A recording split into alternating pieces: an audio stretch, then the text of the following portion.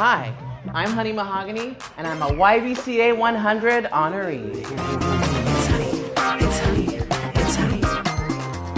It's honey. I was born and raised in San Francisco, and currently I am one of the co-presidents of the Harvey Milk LGBTQ Democratic Club, a sitting member of the San Francisco Democratic County Central Committee. I'm also an owner at The Stud, and in honor of this amazing history in the Tenderloin that is not told enough, we decided to create the Compton's Transgender Cultural District. It's about protecting the trans community and doing right by the trans community and making sure that San Francisco remains a welcoming place for all people.